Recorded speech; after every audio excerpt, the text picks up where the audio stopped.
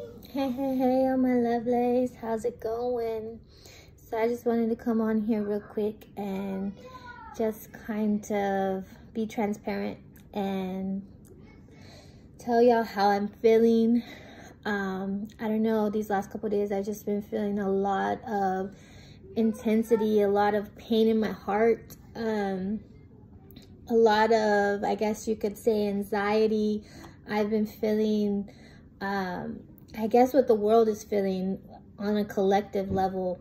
I've been feeling it. I, have been actually physically feeling it in my body, in my heart, and it's intense. It's super heavy and it's intense. And I just want to pour out my heart to everyone that is going through this pain because I know it hurts. Whether it be the uncertain times that we're living in, um, not knowing what to do, being uncertain, being um, unfamiliar. We are all going through this together though, guys, and we're all going to figure it out together. Um, whether it has to do with the V and the jabs or whether it has to do with the awful stuff that's happening in Afghanistan. I mean, my heart is just super heavy and it's literally been in pain these last couple days. And I just want to come on here and encourage you guys that the only way we're going to get through this and the way we are going to get through this, guys, is going back to the one thing that we do know and the one thing that we are certain of. And to me, that thing is love.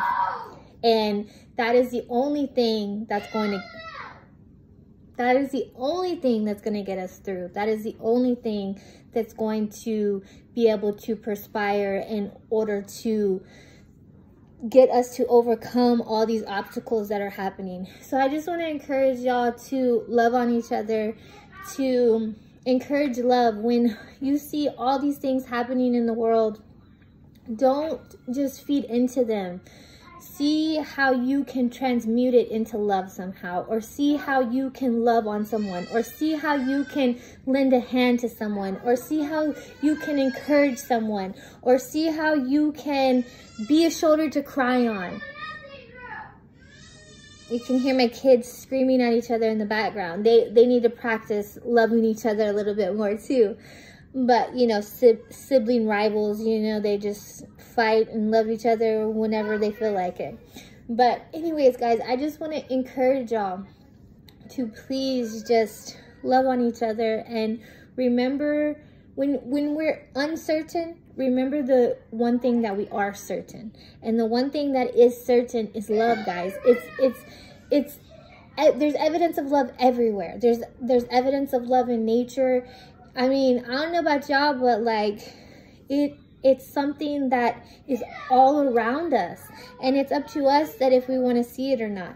I mean, you can always find bad in a situation probably, but you can also always find good. So I want to encourage y'all to find good and find the love and just encourage everyone around you to do the same thing.